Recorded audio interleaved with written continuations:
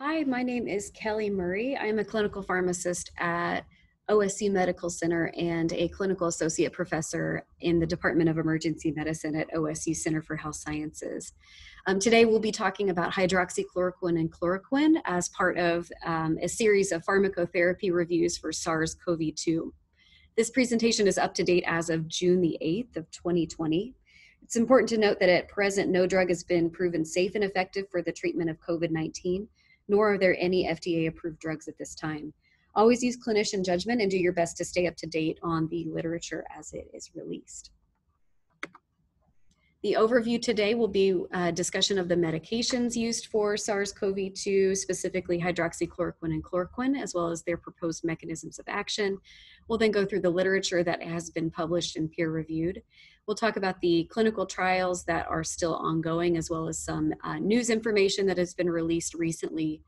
Um, we'll talk about the safety considerations of the medication and then discuss who this medication can be used in. Hydroxychloroquine and chloroquine are both four aminoquinolines that have been FDA approved for malaria, lupus, and rheumatoid arthritis. The only difference between these two medications is the addition of a hydroxyl group on chloroquine molecule to make hydroxychloroquine. These medications have recently been approved through an emergency use authorization from the FDA, which is not to be confused with FDA approval. Um, however, the EUA authorizes adults and adolescents that are 50 kilos and over who are hospitalized with COVID 19 to be able to utilize hydroxychloroquine and chloroquine for the potential treatment of this condition. Anytime these medications are used in patients, they, uh, the healthcare provider as well as the patient should be reviewing and um, going through the fact sheets for the two medications. And within these fact sheets, you'll find information um, such as known risks as well as drug interactions. The proposed mechanisms of action for chloroquine and hydroxychloroquine is by inhibiting the viral entry and endocytosis um, at the host cell level. Um, so ideally, whenever this is inhibited, there's going to be a reduction in the viral infectivity um, through inhibiting the protein glycosylation and proteolytic maturation of those viral proteins. Um, at the same time, in addition to potentially stopping the spread of this um, in the host cell, we're hoping um, that some of the literature will shed some light on whether this medication can also help prevent SARS-CoV-2 um, in patients by reducing the release of pro-inflammatory cytokines and immune modulation. The studies that we're going to discuss today include um, the following that are on this trial. All of these have been peer reviewed and published in the journals that are listed in green. The majority of these studies are hydroxychloroquine um, studies, and we have had a few that have been released um, fairly recently that we'll go through in a little bit more detail. I do want to point out at this point in the presentation that there was a study by Mehra and colleagues um, that was a multinational study evaluating data from the Surgisphere database.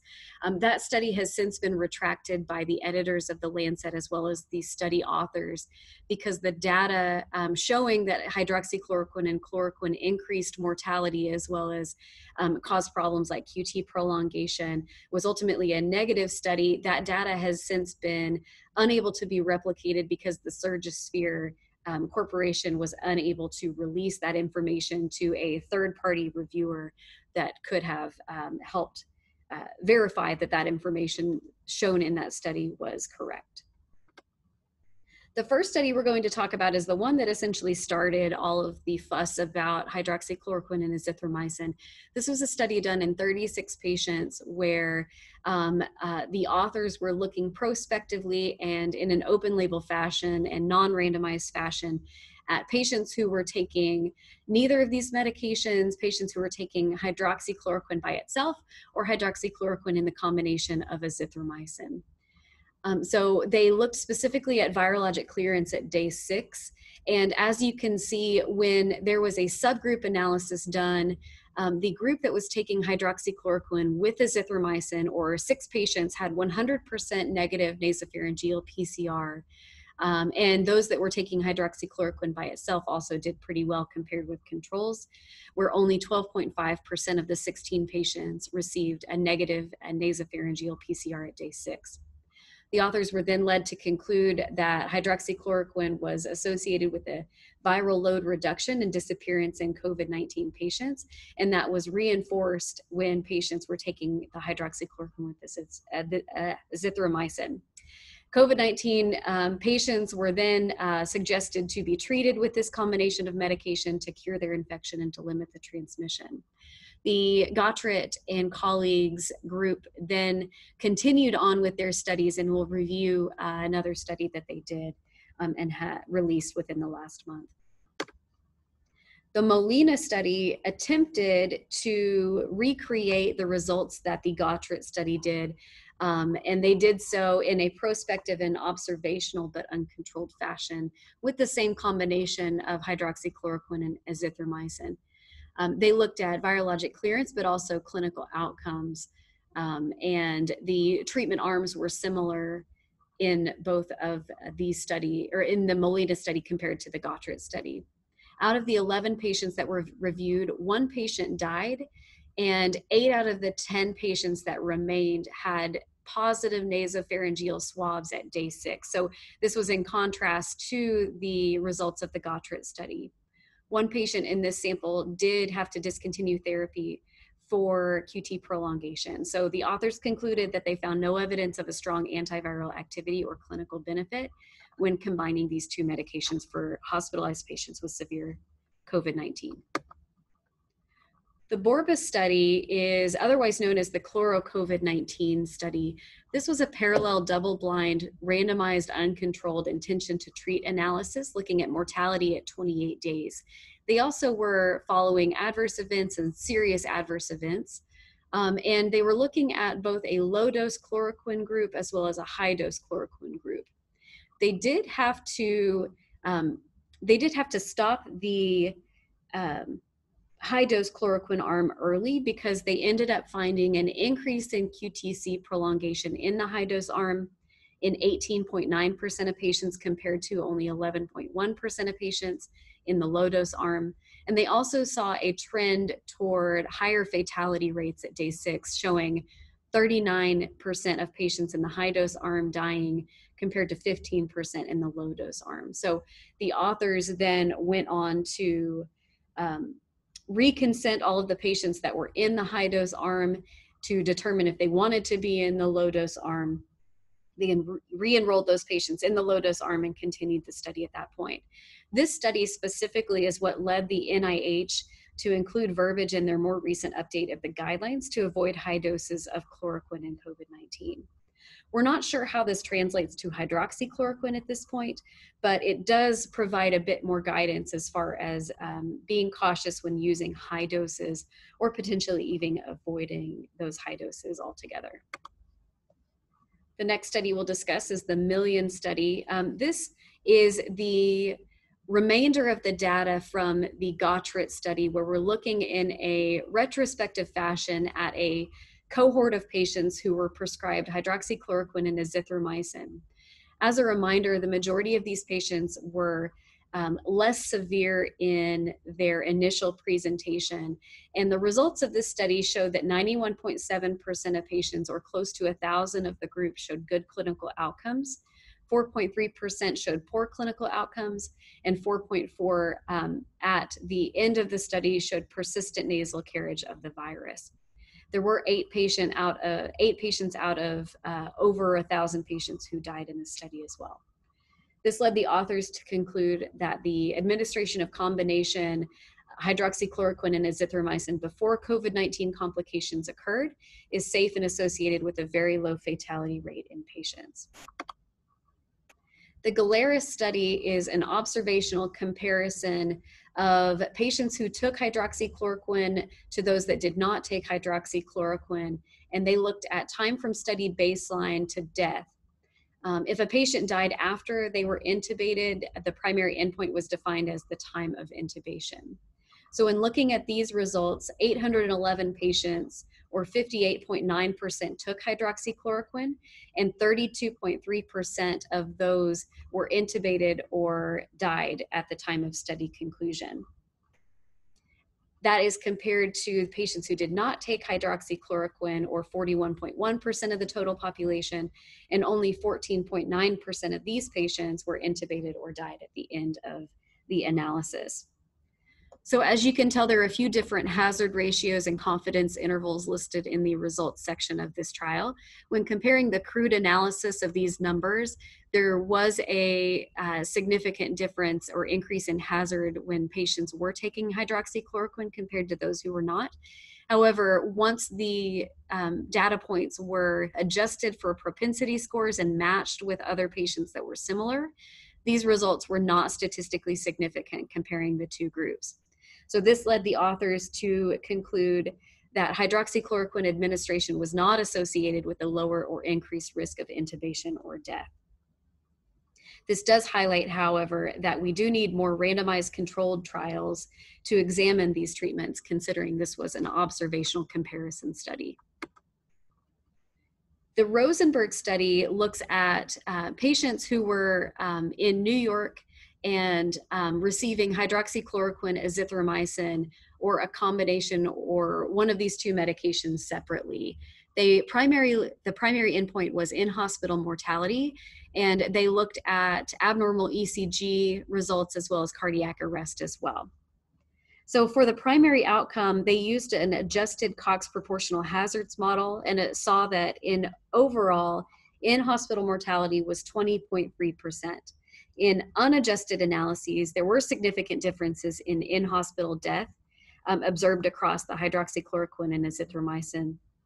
Hydroxychloroquine alone, azithromycin alone, and neither drug groups. Um, this was statistically significantly different with a p value of 0.001 but when adjusted for demographics and specific hospital, as well as pre existing conditions and illness severity, no significant differences in mortality were found when comparing the drug treatment arms to the no drug treatment arm, as evidenced by the table and confidence intervals listed here.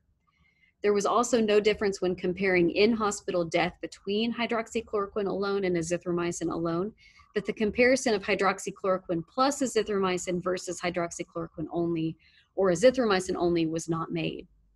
Regarding ECG changes, there were no significant differences between any of the three treatment arms when compared to no treatment, although the proportion of patients experiencing changes was higher in the combination therapy group compared to the others.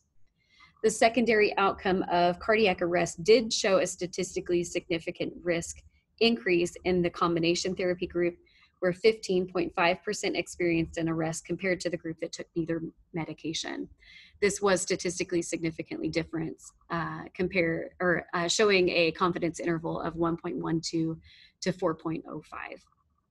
The authors then concluded that among patients hospitalized with COVID 19, treatment with hydroxychloroquine, azithromycin, or both was not associated with significantly lower in hospital mortality. However, that cardiac arrest result uh, was concerning. The final study we'll talk about um, uh, I'm sorry, um, the next study we'll talk about is the Yu study showing low dose hydroxychloroquine reducing fatality in the critically ill patient.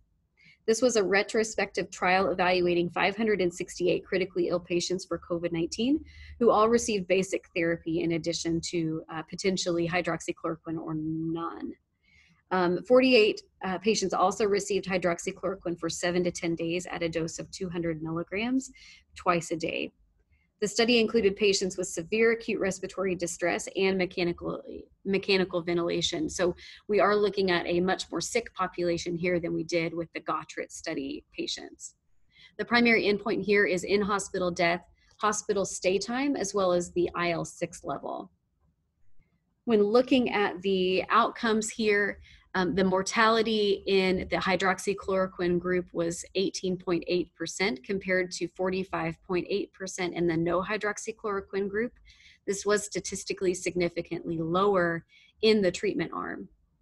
The IL 6 level also showed an increase, I'm sorry, a decrease uh, or a statistically significant decrease in the hydroxychloroquine arm compared to uh, the no hydroxychloroquine arm when the medication was removed from the patient's medication list, the IL 6 level bounced back up to baseline in the treatment arm. the authors concluded that hydroxychloroquine is associated with a decrease in mortality and should be prescribed for treatment of critically ill COVID 19 patients to save lives. The next study, we're going to switch gears a little bit. This is the Boulware study done out of the University of Minnesota looking at hydroxychloroquine for post exposure prophylaxis. So, this has been a, uh, a, a highly anticipated study that we had been waiting on for quite some time. It was a randomized double blind placebo controlled trial looking at 821 patients um, for the prevention of symptomatic infection after SARS CoV 2 exposure. The treatment was a loading dose of hydroxychloroquine of 800 milligrams, then 600 milligrams in six to eight hours, followed by 600 milligrams daily for the remaining remainder of the four of the five days. This was compared to placebo. The results showed that the majority of patients, or close to 90%, had a high risk exposure. Um, however, the incidence of infection did not differ significantly between treatment and placebo groups. So when you're looking at the graphic on the right hand side, you'll see that 13% of patients with these risk, these exposures um, ended up seroconverting to positive for SARS-CoV-2. Um, the hydroxychloroquine group, or four, four, 414 patients, showed close to 12%, um, ended up getting SARS CoV 2 after the exposure, and 14.3% of the placebo group ended up getting SARS CoV 2 after the exposure. So, again, um, this was not a statistically significant um, difference between treatment arms and no treatment arms. There were no arrhythmias or deaths reported, so this is a good sign for this uh, for this study. However, we just didn't see the efficacy that we were hoping for here. The National Institutes of Health have stayed firm with their recommendations. Um, so uh, this was last updated on May 12th of 2020 and has continued um, to current uh, June 8th. So at this time, there is still insufficient data to recommend either for or against using chloroquine or hydroxychloroquine for the treatment of SARS-CoV uh, SARS-CoV-2. If chloroquine or hydroxychloroquine is used, it's recommended that the QT interval be evaluated and followed for toxicity concerns. The COVID 19 treatment panel recommends against using high dose medications. Again, this is because of the chloro COVID 19 study that we reported on. And the panel recommends against the use of hydroxychloroquine plus azithromycin, except in the context of a clinical trial.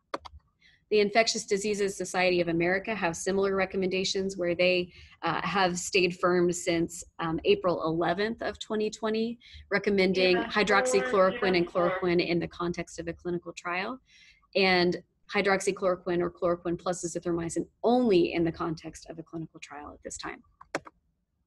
So the ongoing clinical trials with these medications are listed on the screen here for you. So we still have a few treatment trials that we're waiting on the results of, a few post-exposure prophylaxis trials, as well as the discovery trial.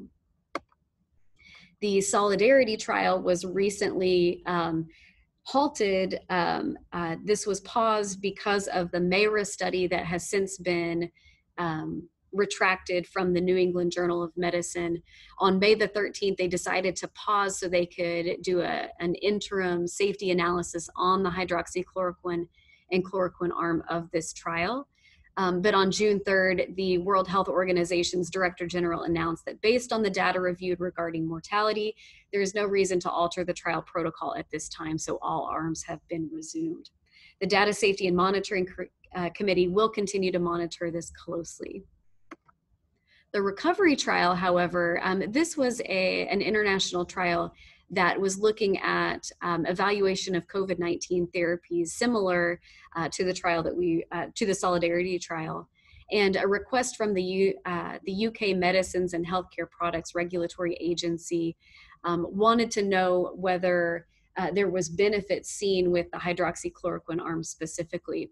And they uh, released a report on June the 5th saying that there was no beneficial effect of hydroxychloroquine in patients hospitalized with COVID 19, and therefore they decided to stop enrolling participants to that arm of the recovery trial with immediate effect. The reason they did this was based on 1,542 patients versus 3132 getting usual care, and they found no significant difference in 28 day mortality um, with a hazard ratio of 1.1 and a confidence interval that crossed one. this p-value was 0.1 this was uh, also um, reported that there was no evidence of beneficial effects on hospital stay duration or other outcomes either.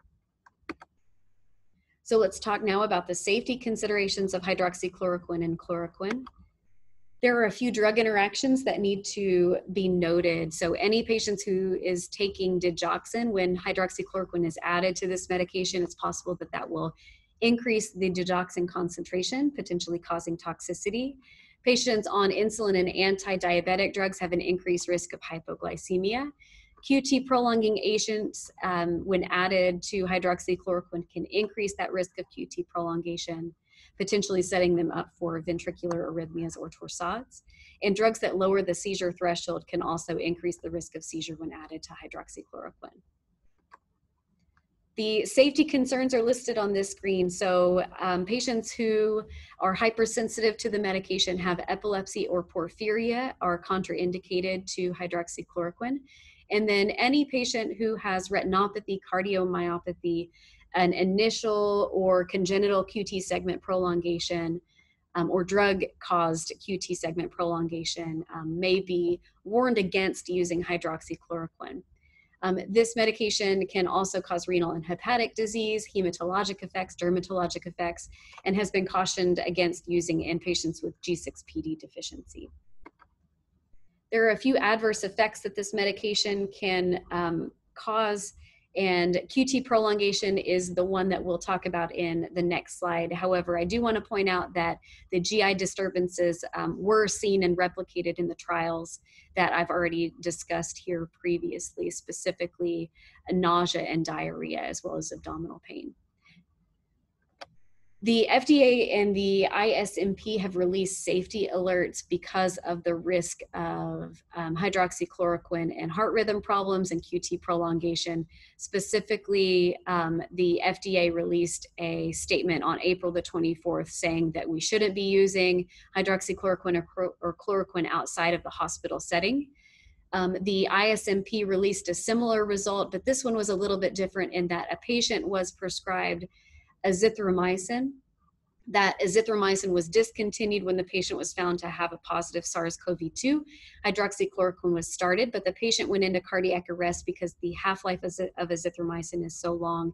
It was still considered to be a drug interaction because there was enough azithromycin in the system to continue to prolong that QT interval. And then the Mercuro study has received a bit of attention here, um, where a cohort of 90 patients from Boston um, showed patients that were taking hydroxychloroquine were at risk of QT interval prolongation, especially when combining with azithromycin. Um, the additional additive risk factors of the Mercuro study showed that any patient who had a baseline QTC of 450 or greater, or those on loop diuretics, were more at risk. So when it comes to monitoring for safety, um, the University of Liverpool put out a drug interaction um, checker where you can evaluate the different COVID 19 potential therapies and how they interact with other medications. You can also look at crediblemeds.org for a list of drugs that cause QT prolongation, as well as what that risk is specifically. The ACC has endorsed the Tisdale scoring system for QT prolongation risk specifically for patients who have QT uh, prolongation or who are being started on medications for SARS-CoV-2. As you can see, you add up the different points for different risks that a patient may have, and then you classify based on what that total score is.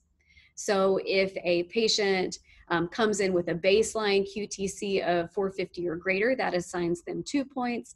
If they're um, a heart failure patient, that assigns them three points. And then if they um, have a high risk score of 11 points or higher at the end of calculating that, uh, the ACC suggests um, a relative contraindication for outpatient use of hydroxychloroquine. So they say that uh, a score of 11 or higher should exclude somebody from getting hydroxychloroquine. So who should we use this medication in, if anyone at this point? Um, when it comes to treatment, hydroxychloroquine should only be used in the context of a clinical trial for treatment of SARS-CoV-2. This goes for chloroquine as well. And one of the clinicaltrials.gov um, identifiers is listed on the screen for you, and this is specifically the Novartis trial, where patients can potentially be enrolled at OSU Medical Center for this the post-exposure prophylaxis um, based on the Boulware study that was released out of the University of Minnesota. At this point, we still should not be using hydroxychloroquine for post-exposure prophylaxis because we did not see a result in positive efficacy for prevention of SARS-CoV-2 in those patients with those high-risk exposures if a patient is started on hydroxychloroquine, whether it be in the hospital or outpatient, um, although it's not recommended in the outpatient at this time, we still need to be very vigilant and dutiful in uh, obtaining the baseline ECGs, obtaining an ECG four hours after the first dose, as well as a daily ECG thereafter to make sure that we're not causing an increase in QT. Um, at this time. So make sure you can also discontinue all other QT prolonging agents to decrease that risk. Um, minimize continuous telemetry. Don't start the medication if the QT is over 500 and discontinue if there is an increase in PVCs or non-sustained polymorphic VTAC. At this time, there are more recommendations that you can find on other therapies of SARS-CoV-2, as well as hydroxychloroquine, um, which is updated daily in the OSU Medicine COVID-19 guidelines or handbook. And you can also see other educational videos on the treatment of SARS-CoV-2 at the link um, underneath or next to the second arrow. Thank you so much and check back as this presentation will be updated as more information is released.